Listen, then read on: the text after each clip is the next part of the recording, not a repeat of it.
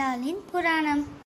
ஆண்டாள் நாச்சியாரின் திருநட்சத்திரம் ஆடிப்புறமாகும். பனிரெண்டு ஆழ்வார்களில் ஆண்டாள் நாச்சியாரும் ஒன்று ஆவார். ஆண்டாள் நாச்சியார் நீலாதேவியின் அம்சமாவார். பெரியாழ்வார் எனும் விஷ்ணு தூத்தர் ஆண்டாளின் தந்தையாவார்.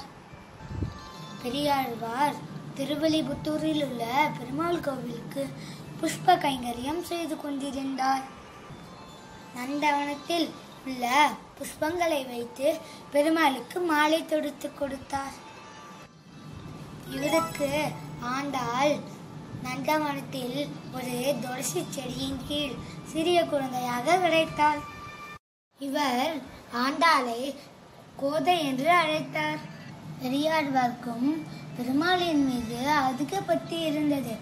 அதே போல ஆண்டாளுக்கும் சிறு வயது முதல் பெருமாளின் மீது அதிக பக்தி இருந்தது.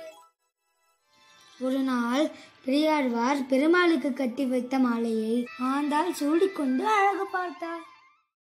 இதை பார்த்த பெரியாழ்வார் மிகவும் வருத்தப்பட்டார். வேற ஒரு மாலையை தொடுத்து கொண்டு கோவிலுக்கு சென்றார். ஆனால் பெருமாள் அந்த மாலையை ஏற்றுக்கொள்ளவில்லை. ஏனென்றால் ஆண்டாளுக்கு பெருமாளின் மீது அதிக பக்தி மற்றும் அன்பு இருந்ததால்.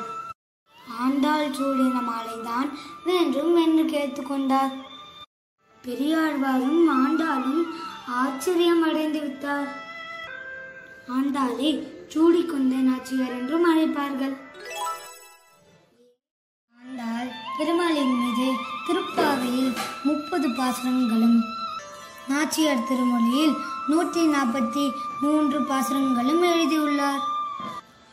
ஆண்டாள்.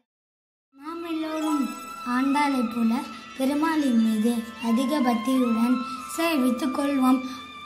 ஆண்டாள் திருவடிகளே சரணம்